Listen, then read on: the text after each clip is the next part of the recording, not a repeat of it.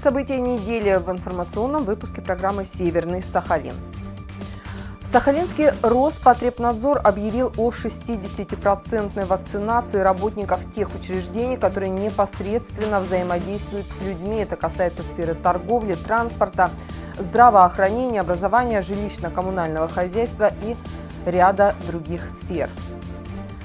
В этом году отремонтируют 147 участков городских дорог. Разработан ежедневный план, и если не внесет коррективы погоды, текущие ремонты дорожных участков завершатся к середине июля. В рамках двухмесячника по санитарной очистке города в минувшую пятницу убирали городской парк. Последние несколько лет парком занимаются целенаправленно.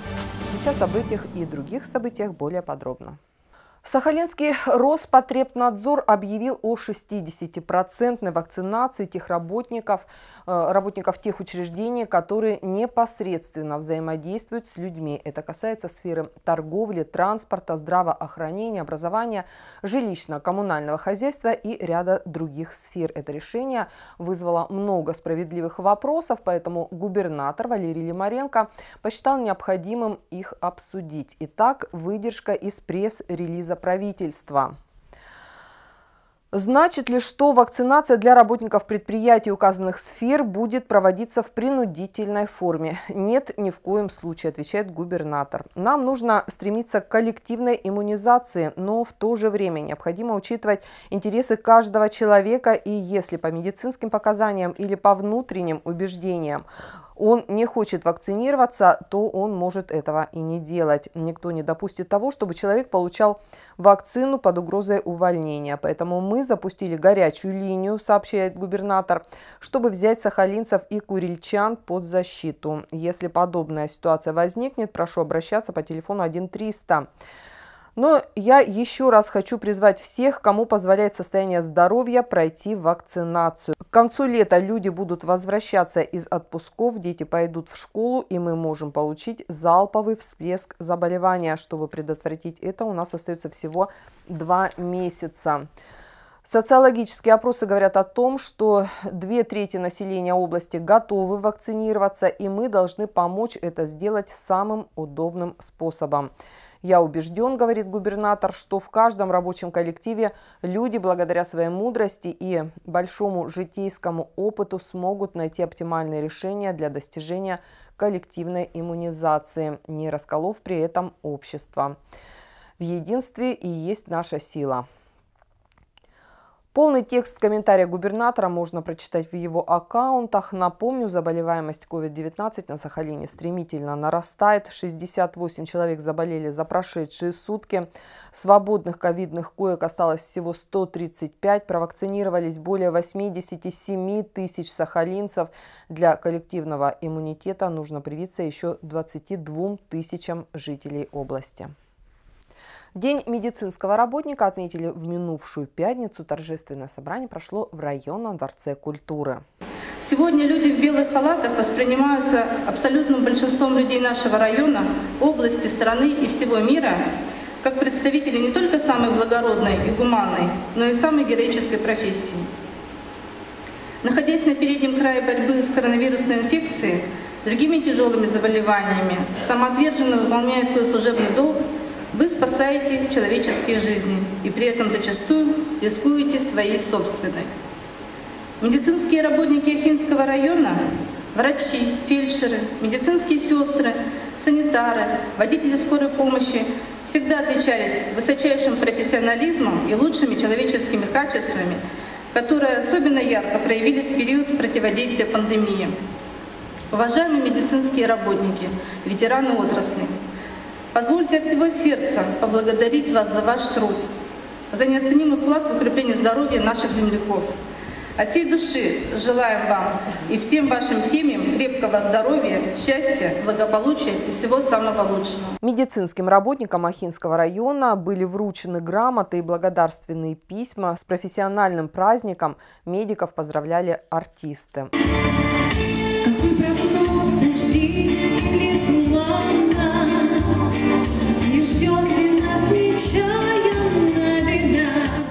Имени по поручению депутатов городского собрания позвольте искренне и душевно поздравить вас с наступающим вашим профессиональным праздником. Сегодня в этом зале присутствуют люди доблестные, врачи, медсестры. И хочу сказать еще отдельное спасибо тем людям, которых сегодня здесь нет в этом зале, которые остаются на сегодняшний день на своих рабочих местах, которые рядом находятся со своими пациентами. Позвольте пожелать вам терпения, удачи, профессионального роста, чтобы у вас благодаря нашей вакцинации все-таки становилось чуть-чуть меньше работы, и чтобы ваш труд был достойно оценен. Э, в прошлом году, прошлой осенью, зимой, когда до нас, до Ахи докатилась вот эта вот волна COVID-19, это все упало на ваши плечи. Вы тогда еще учились бороться с этой болезнью. Вы заболевали сами, болели ваши коллеги. Вы были вынуждены подхватывать пациентов. Э, шел вал больных каждый день. И тогда, конечно, огромную работу вы все делали, за которую мы не устанем благодарить вас. На приемку отремонтированных и готовых к эксплуатации участков городских дорог выехала целая комиссия. Принимать работы от дорожников теперь будут не только специалисты УКСа и местной администрации, но и общественники. С 1 июня в Ахе ремонтируют городские дороги. На то, чтобы полностью устранить дефекты на проезжих частях города, губернатор дал ахинским дорожникам ровно 6 недель. Закончить должны к 15 июля, поэтому работа кипит. Работы мы производим в рамках контракта двухгодичного. Он был заключен в 2020 году. А, значит, часть контракта порядка 8, 8 тысяч квадратных метров была выполнена в прошлом году и 5600 квадратных метров выполняется уже в этом году. Во многих районах, скажем так, нужен уже капитальный ремонт, так как где-то не предусмотрена ливневая система. То есть, э, ну, это основная проблема э, разрушения дорог. Это вода в положительной отрицательной температуре она разрушается, соответственно, дорогу. Поэтому в, во многих как бы районах стоит сделать капитальный ремонт. Что хочется сказать по ремонту э, текущего года, да, э, единственная просьба к заказчику э, размещение контрактов своевременно. То есть можно, так сказать, там пораньше, там весной, чтобы ну, мы могли быть готовы э, выходить на объемы летом, то есть успевать с закупкой материала. Материалы в ремонтных работах, по мнению Алексея Гаврилина, используют достаточно качественные. Материалы, ну, на мой взгляд, у нас, в принципе, технологичные. Используем битум э, хорошего качества, закупаем его на материке. Щебень э, и там другие инертные материалы покупаются в Ахинском районе в принципе, хорошего качества. Проблем с этим нет. С этих материалов строят дороги э, в Ахинском районе, ну и не только. В конце минувшей недели на приемку уже готовых к эксплуатации участков дорог выехала целая комиссия. Принимать работу от дорожников теперь будут не только специалисты УКСа и местной администрации, но и общественники. Сегодня мы проводим приемку выполненных работ за э, ну, последние две недели по ямочному ремонту. Такие мероприятия у нас будут проходить еженедельно по пятницам, вплоть до окончания всех этих работ. Э, в комиссии участвуют и представители общественности из общественного совета, молодежь-волонтеры, которые помогали выявлять эти э, дефекты дорог, а представители партий, а, собрания, депутаты, представители заказчика, это МКУ УКС и подрядные организации. Таким составом мы проверяем выполнение работ и наличие замечаний у, э, скажем так, простых жителей нашего города до приемки уже заказчиком выполненных работ, чтобы было время для устранения, если есть какие-то нарекания. Итак, комиссия проверила три участка. Перекресток Комсомольской парковой и саму улицу. Ее тоже отремонтировали. Перекресток улицы 50 лет октября у входа в парк и межквартальный проезд от Сапко до Ленина. Мы обсудили э, выполненные работы и качество. На сегодняшний момент замечаний нет. Дальше мы продолжим э, выполнение работ. Напомню, что первым этапом у нас идет окончание двухгодичного контракта. С прошлого года подрядчик его заканчивает. Дальше у нас этап это по осеннему осмотру с тем, что мы за лето нарастили и вошли в зиму. И третий этап это обследование после э, зимнего периода. Поэтому по такому графику выполнение работ запланировано, и также вот комиссионно будем принимать еженедельно эти работы. Среди общественников были представители «Единой России», «Молодой гвардии», а также депутаты городского собрания. Очень приятно, что в Ахе, как никогда раньше, в июне начинается ремонт дорог. И продолжается. И э, комиссия в таком обширном составе представители собраний, представители администрации, э, общественники, волонтеры. Э, очень, по-моему, хороший формат такой встречи, где может быть специалисты не заметили, а общественники дотошные или волонтеры дотошные могут увидеть и указать на недостатки, которые необходимо будет исправить. Но на сегодняшний момент мы таких недостатков не увидели.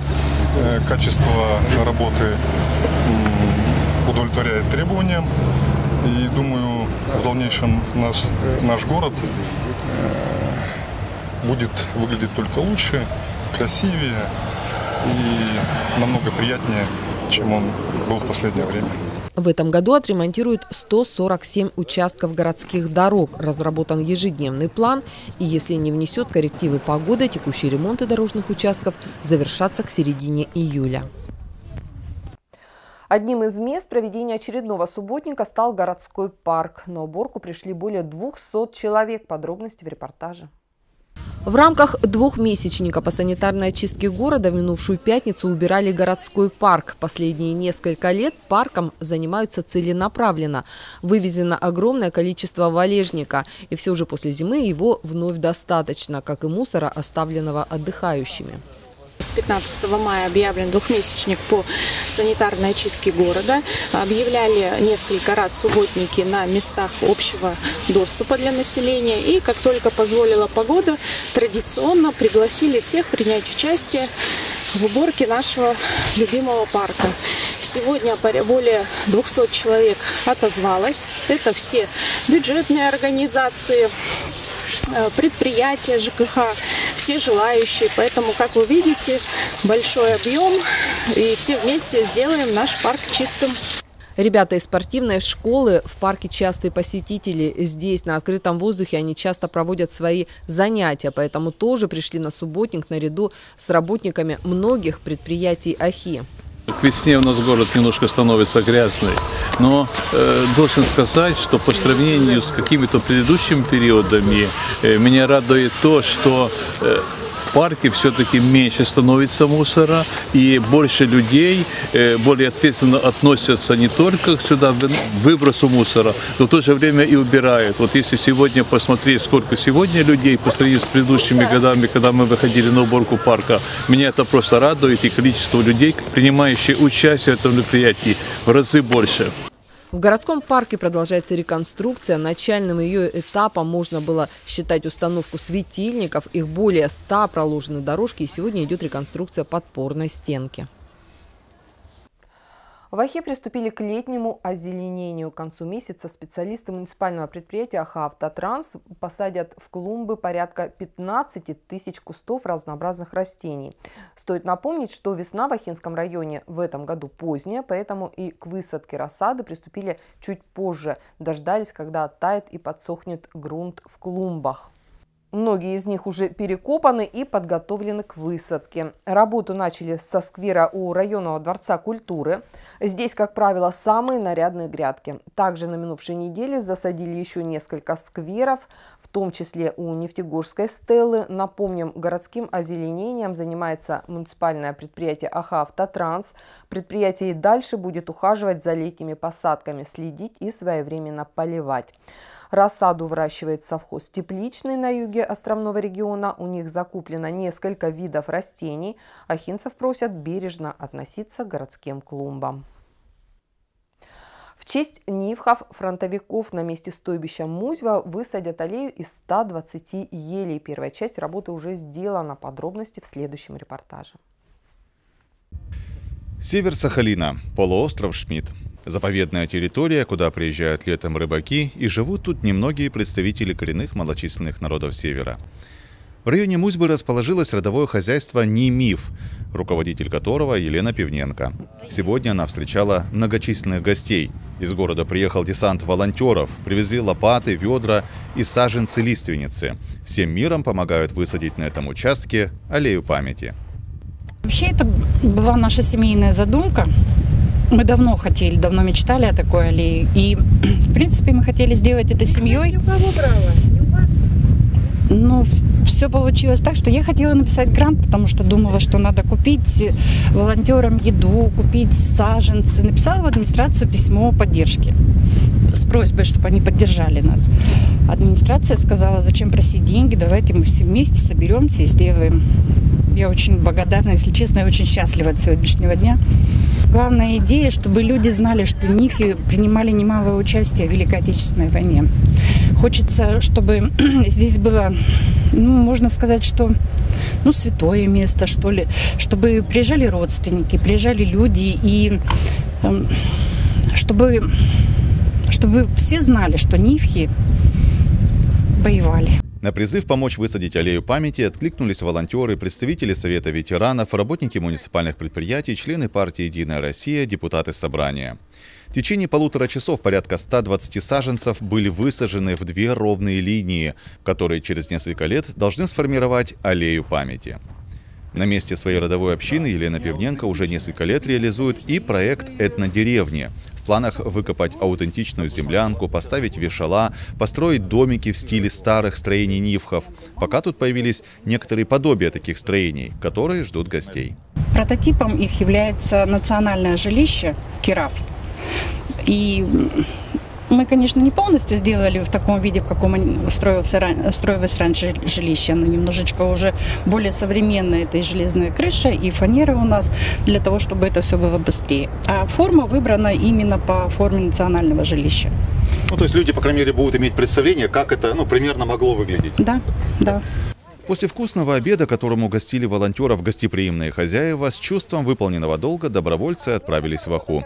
Еще один памятный объект – аллея памяти появилась в нашем районе. Пусть она далеко, но для представителей коренных малочисленных народов Севера она будет символом участия их земляков в боях Великой Отечественной.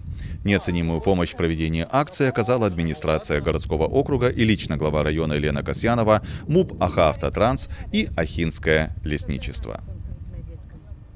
В Ахе прошло районное собрание, на котором избрали делегатов на конференцию по запуску четвертого плана содействия развитию коренных малочисленных народов Северо-Сахалинской области. Мероприятие прошло в Большом зале районного дворца культуры. На собрание приехали представители КМНС, также из села Некрасовка. Выбрали 22 делегата на конференцию. Напомним, там обсудят итоги третьего плана содействия и наметят планы на следующий. Подробнее об этом в интервью с Александрой Хурьюн. А я с вами прощаюсь. Всего вам доброго. Представители коренных малочисленных народов Северо-Ахинского района должны собраться на собрание по выдвижению делегатов на областную конференцию по формированию четвертого плана содействия план содействия развитию коренных малочисленных народов Северо-Сахалинской области, который э, начал работать, первый план начал работать в 2006 году, затем была пролонгация в 2010 и в 2016 году. План содействия э, в этом году э, планируются э, некоторые изменения в работе плана содействия.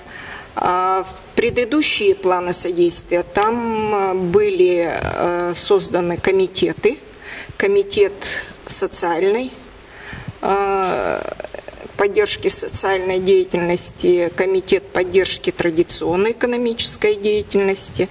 Затем там были образовательные компоненты, компонент образования, компонент спорт – и, а, ну, социальные я уже сказала. Вот. И помимо этого там работали исполком и правление. А в третьем плане содействия, третий план содействия претерпел некоторые изменения.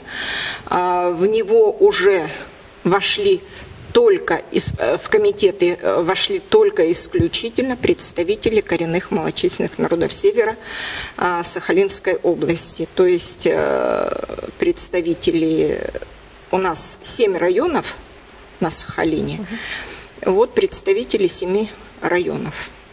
А, четыре этноса, которые входят в реестр. Это Нивхи, Эвенки, Уильта и Нанайцы. Ну вот скажите, пожалуйста, вот основная цель, вот самая главная задача этого плана содействия. Кто кому содействует? В чем? А, план содействия называется так, потому что а, региональный совет – представители коренных э, народов, уполномоченных, а, затем правительство Сахалинской области и компания «Сахалин Энерджи» в 2006 году подписали соглашение, первое соглашение о сотрудничестве. А, было, была поставлена цель а, содействия развитию коренных малочисленных народов Севера. То есть э, содействию экономическому, социальному и всем этим аспектам. А, ну, в принципе, план реализуется успешно. Единственное только, что э, с течением времени получается, получается так, что э, мы привыкаем дармовщине. Вот это вот э, очень э, печальная такая составляющая. А, но с другой стороны, э, очень э, многие уже прошли через управляющие органы, и многие уже имеют представление, как это работает, э, насколько это эффективно работает. А, в чем еще особенность плана содействия? А, там есть компоненты, которые содействуют физическому лицу, не общине какой-то, не какому-то какой-то организации отдельно взятой, а именно физическому лицу. То есть э, есть э, был такой компонент, ПТЭТ называется, программа поддержки традиционной экономической деятельности. Вот по этой программе а, выделяются деньги, часто очень выделяются деньги физическим, физическому лицу на приобретение, допустим, снегохода, на приобретение морозильной камеры, на э, приобретение швейных машин. Вот такие вот вещи. А вот. А, ну, наряду с физическими лицами и э, бизнес-сообщества, то есть э, родовые общины, э, родовые хозяйства писали свои бизнес-планы и реализовывали их. На э, наиболее такой успешный, наверное, проект это у нас в Некрасовке родовое хозяйство «Уньгыш», а, Людмила Закировна Кравчук, глава. Вот э, львиная доля э, ее перерабатывающего цеха – это как раз бизнес планирование плана содействия. А, заготовка, обработка рыбы, добыча рыбы. Вот, в принципе, и дикоросы, обработка дикоросов. А, Людмила Закировна со своей продукцией, у нее соленая рыба, сушеная рыба, папоротник сушеный, черемша она заготавливала, ягода, она со всей этой продукцией уже выезжала в Москву на э, «Сокровища Севера» фестиваль. А другие какие-то, вот скажите, традиционные виды деятельности поддерживаются? И есть желание вообще вот у коренных наших жителей заниматься какими-то ну, такими специфическими традиционными видами, там пошив унтов, там, А, шапок, там, или Пошив, на- вышивка. э, там, пошив национальной может быть, да. одежды, да, у нас есть э, мастера, которые этим занимаются. М, Чисто меховой у нас в Ахинском районе э, нет. У нас не занимаются. А вот э, в Ногликском районе есть такая мастерица Дорофеева Анна. Она занимается пошивом, э, вот прямо фирменные, у нее очень красивые вещи, орнаментированные э, из нерпы. А Вот. Э, Затем в Александровском районе есть мастерицы Диноковы сестры. Они ездили, обучались в, на Камчатку, э, в Петропавловск. Вот. э, И помимо этого в Южно-Сахалинске э, мальчик Наумков Женя. Он тоже обучался выделке шкур, там же, в, в Петропавловске, Камчатске. А, и вот, кстати, Миша Чайка, он тоже ездил. То есть он тоже умеет обрабатывать шкуры. В Ахинском районе есть э, одно, м, одна община родовая, которая э, уже, в принципе, начала возрождать собаководство. Правда, не геляцкие ездовые, а у них э, хаски, по-моему, и маламуты. А глава общины Владимирова Наталья. Вот. И помимо этого у нас э, в Ахинском районе вроде как э, этнодеревню хотят э, сделать Пивненко Елена. Вот. Ну, вот такие вот. Ну вещи. и скажите, вот чего ожидаете от сегодняшнего собрания? А, ну, И что от будет дальше? От сегодняшнего собрания избрание делегатов, которые будут э, не просто э, поедут там глазками полупают, а будут работать на этой конференции. И уже на той конференции, на областной конференции, будут избраны представители а, от э, этносов, от районов, представители в комитеты плана содействия. То есть там будет комитет, э, социаль- фонд социального развития и программа поддержки традиционной экономической деятельности. Особенность э, четвертого плана содействия планируется, что экспертные группы экспертная группа, которая будет рассматривать э, заявки поданные, будет уже не областная. У нас была вот в третьем плане содействия у нас была областная экспертная группа, а у нас уже будет всероссийская. То есть эксперты у нас будут российские.